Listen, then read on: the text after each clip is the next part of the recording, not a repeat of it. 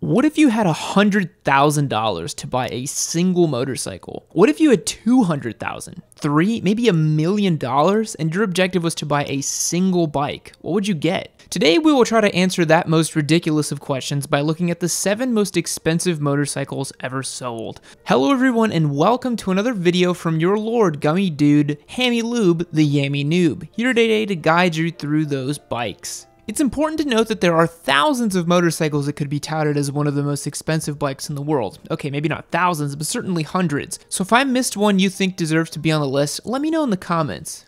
To help narrow our otherwise massive list down, the seven most expensive motorcycles featured in this video have been selected using these three criteria. None of the bikes could be used exclusively for racing, so no MotoGP specific bikes since those are one-off motorcycles costing well over $1.5 million a piece. To be considered, all bikes had to be made within the last 25 years, so none of those sweet antique Guzzis, even if they are beautiful. And no concepts were permitted during the making of this list. Think no animals were harmed in the making of this movie. While concept pieces are fun to look at, dream about, and drool all over the showroom floor, it's pretty impossible to put an accurate price tag on them if they were never produced, which is why all of the bikes on this list have been produced and listed for sale, even if it was for an extremely limited number. We'll be counting up to the most expensive motorcycles, stick around until the end to see which bike topped the list. And be sure to like and subscribe to stay up to date on all future posts. We're doing big things here at Yammie Noob and you're going to want to be a part of it. Huge shout out to Ridge Wallets for supporting the channel. I'm going to tell you guys a little bit more about them at the end of this video. Without further ado, let's check out some sex on wheels that none of us can afford but all of us can drool over. Our first contender will be familiar to those who enjoy watching my content. It's none other than number one, the 2008 AEM carbon fiber Hayabusa. The Hayabusa has held the title for fastest production motorcycle for almost 20 years. You can get a basic version of one of these babies pretty regularly for around 20 grand. But things got real when Suzuki dumped all the heavy metals it possibly could from the traditional frame and replaced them with carbon fiber. Carbon fiber is the driving factor. See what I did there? So the Hayabusa dumped the metal, swapped them for carbon fiber, and that's the primary reason for the increase in price for most of the high-end sport bikes out there. And many riders will even take it a step further and opt for carbon fiber parts or fairings, but the AEM carbon fiber Hayabusa has carbon fiber everything. Literally everything. And while it may not be the most patrician of Busas, aka the Craigslist Special Turbo Busa, it still deserves an honorable mention. This beauty is the stuff all sport bike enthusiasts dream of, and she starts off our list at $200,000. So you can buy a house, or you can get this all carbon Busa.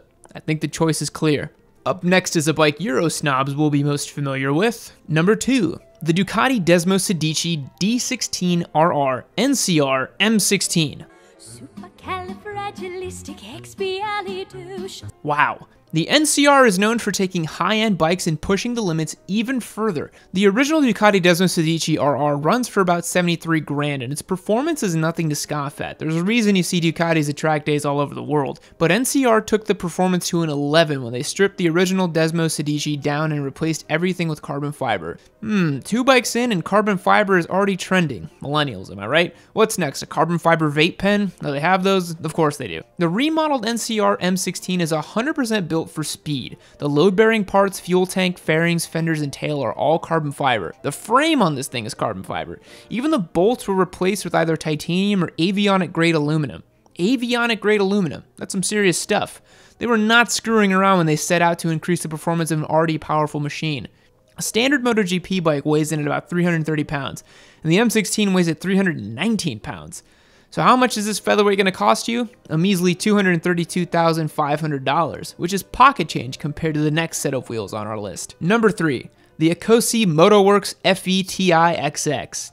At 300,000 eye-watering dollars, the Ecosse Motoworks FETI XX is the most expensive of the Ecosse Titanium series. How many beater Craigslist bikes can you buy for the price of one of these bad boys? Literally hundreds. You could buy 200 Honda Hornets for the price of one of these bikes. And I would know since I spent 1500 bucks on mine. Ecosse is known for creating luxury masterpieces, so it's no surprise that they showed up in this list. Only 13 of the FETI XX models were produced, so even though it's got a custom handcrafted leather saddle designed by Italian leather maker Berluti, it's unlikely you'll ever find out just how comfortable that saddle is for a good ride. This is definitely one of the more muscly looking bikes on this list, which segues nicely to number 4. Number 4, the Harley Davidson Cosmic Starship. Unveiled in 2010, the Cosmic Starship originally sold for $1 million.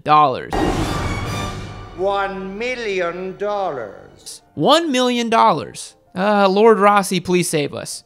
There are claims that the Starship has since been sold for 3.5 million. Now it's up to 12 million, but since hasn't been sold at that official price yet, we're gonna stick it on the list at the last confirmed price of 1 million dollars. Aside from big, I'm not sure that's a strong enough word. Let's try something else. Aside from the giant price tag that comes attached to anything labeled Harley Davidson, the Cosmic Starship fetches such a high price not because of the bike itself, but because of the paint job. That's right the paint job. It is the Mona Lisa of motorcycles. The original Harley Davidson V-Rod is priced at a standard 18 grand, which means that the paint job is worth a lot of dough, $982,000 to be exact. The bike was painted by famous existentialist artist Jack Armstrong, and for those who don't know, existentialists are pro freedom, pro individualism, and all for creating your own meaning in life. That's your Yami lesson for the day. With the paint job being the primary point of investment, this is one bike you probably don't want to use as your daily rider. But as highfalutin as this Harley may be, our next bike is three times the price, which brings us to number five,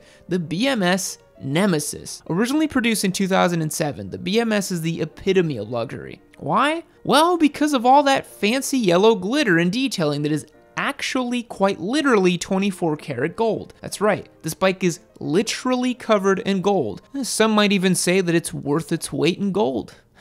Okay, I've exceeded the limit for bad jokes you can reasonably put in one video. The BMS Nemesis offers yet another fancy paint job to deter you from purchasing this as your daily rider. Well, that and the $3 million price tag. But to ride something that looks like a space-age shrimp covered in gold, well, that's priceless, my dude. Surprisingly, the gold paint job isn't the coolest thing about the Nemesis. The Nemesis is an air ride system and a single-sided swing arm that lifts and lowers the bike to and from the ground so it doesn't even need a side stand. And that makes this Space Shrimp a pretty cool ride. Up next is another Ecosse, so girdle your loins. Number 6, the Ecosse Spirit ES1. God damn. Just looking at this bike makes me want a cigarette, and I don't even smoke. The Ecosse Spirit was originally a concept bike, and before you go all rulesy Jones on me about not allowing concept bikes on the list, the Ecosse Spirit was eventually produced in extremely limited quantities. In fact, only 10 were sold. And don't you worry about the boys over at Ecosse going without anything, because just one of these Spirit ES1s fetched $3.6 million. All 10 of the motorcycles were sold upon production, so if those cats never sold another thing in their lives, they'd be sitting pretty. So what makes the Spirit worth so much? Design. Unlike the previous models on our list that were priced via an art valuation or the current value of gold, the Spirit was designed for one thing, to kick ass and take names. The engineers for the Spirit modeled the bike after Formula One race cars. It also doesn't have a chassis framework, which means this might be the most high-tech bike on our list. But how does a bike with no framework? It's pretty simple, really. The swing arm and the rear suspension attach to the gearbox, and the front suspension attaches directly to the engine. There's a lot more mechanical dirty talk we could get into, but it's time to move on to the next bank robber on our list. Number 7, the Neiman Marcus Limited Edition Fighter.